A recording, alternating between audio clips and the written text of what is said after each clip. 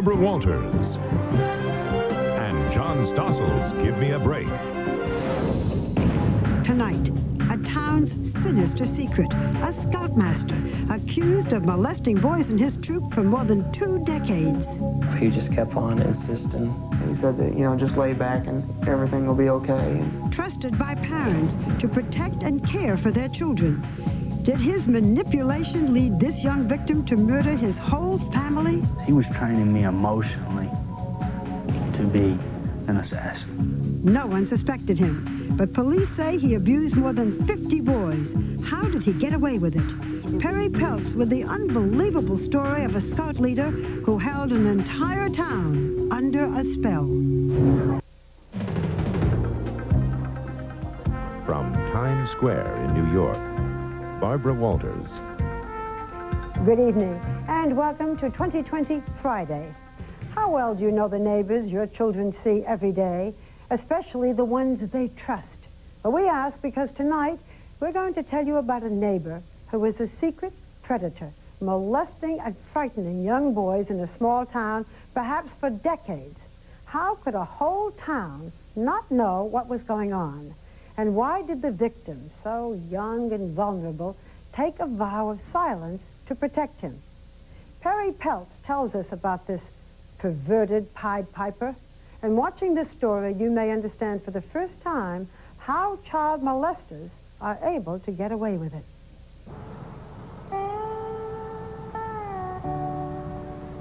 Lonoke, Arkansas is just off the interstate. It's a one-stoplight town where kids play baseball, go camping, and enjoy a peaceful childhood. Unless they were in Boy Scout Pack 103. That's where authorities say a dark secret of sexual abuse has been kept for 30 years, causing anguish, torment, and some say even murder. We'd get around the campfire and uh, we'd all get drunk. And that's usually where the, the sexual part came in. But he would come to us after everybody had gone back, you know, from the fire or whatever, and had a little bit to drink, and he'd uh, come to your tent. He just kept on insisting. So it happened. Right out there in the middle of nowhere. And he said that, you know, just lay back and I'll re relieve you of some stress and everything will be okay. In the seclusion of the woods, 22-year Scout veteran Jack Walls, leader of Pack 103, would turn Boy Scouts into victims. A pedophile who sexually assaulted children in his charge. He would handpick his favorites from the Scouts and the neighborhood and bring them deep into the desolate forest. Next, he would abuse his position of authority, exploiting the boys' trust in him, plying them with alcohol and pornography. He offered boys like this one, who is still too ashamed to reveal his identity, entry into a world of the forbidden. he had told me that that was just an initiation into a, uh, a new elitist club that was an immediate, unlimited access to alcohol, cigarettes, cigars. Little did I know that the initiation would take place over and over and over and over again. And at those so-called initiations, Jack Walls would play on his victims' shame and embarrassment. And for victims like Josh Aukus, if a secret so dark were to get out in a town so small, that would spell emotional ruin. I was just embarrassed about it, you know. I couldn't tell anything like that, that the whole town would know. You wouldn't have any friends, couldn't play football or, you know, just be harassed every... That's the way I pictured it.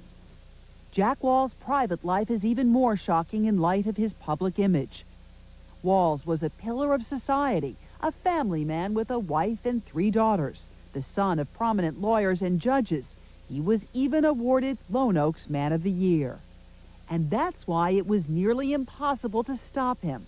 But in 1992, Boy Scout Doug Hogan would be the first to try.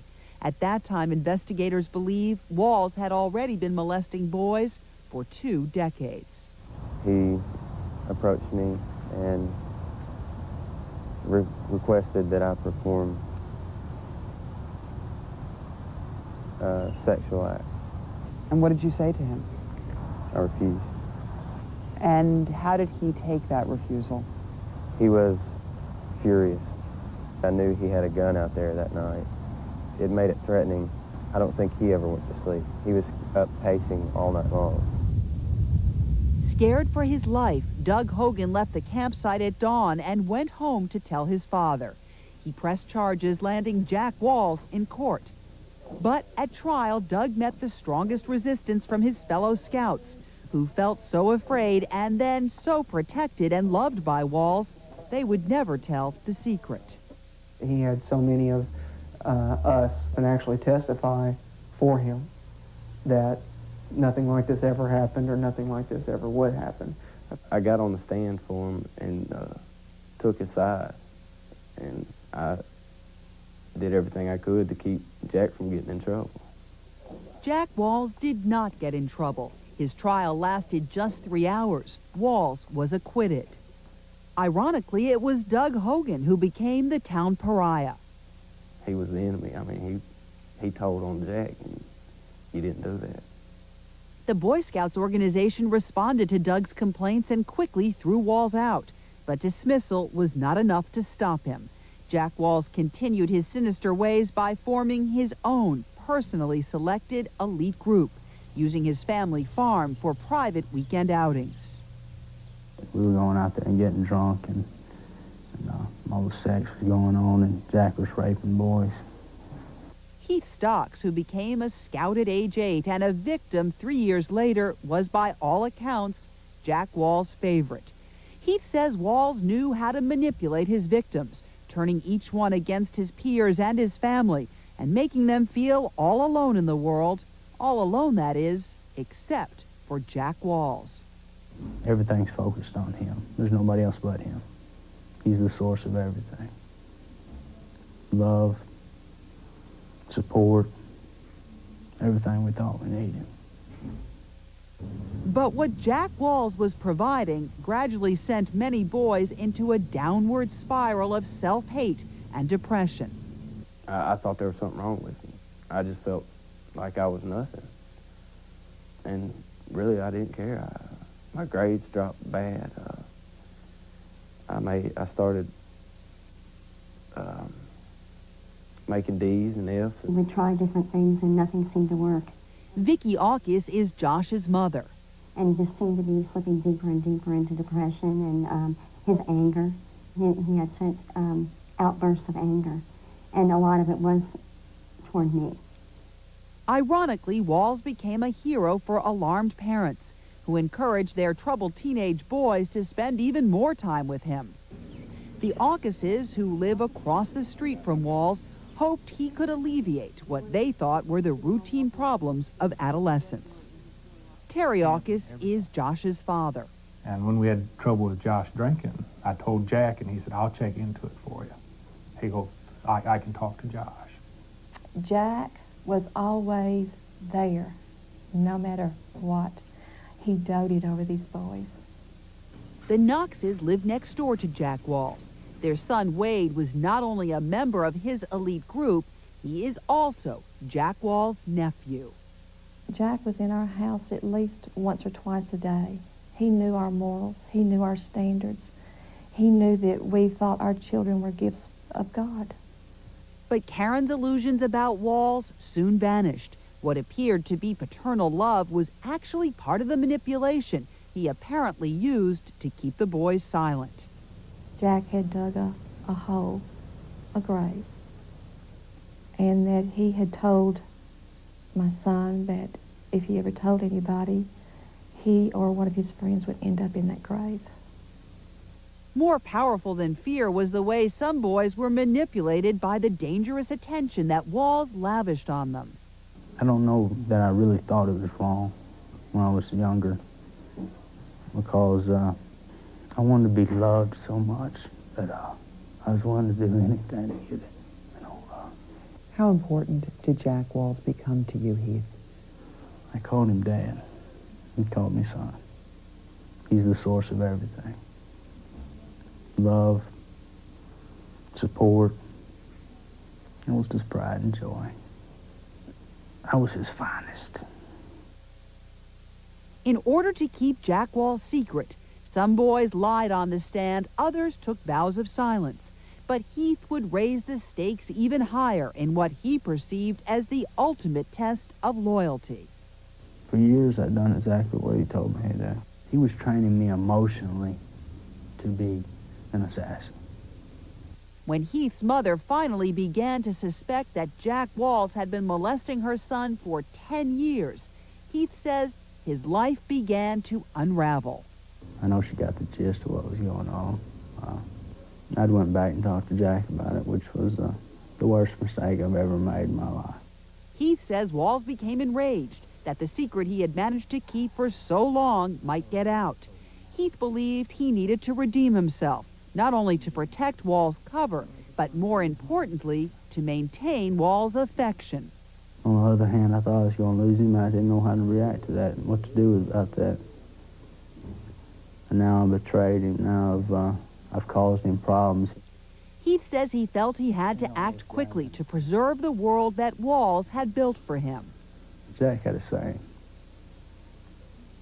If you have a problem and you can't solve it, you kill it. And so I took his last command. What was the last command, Heath?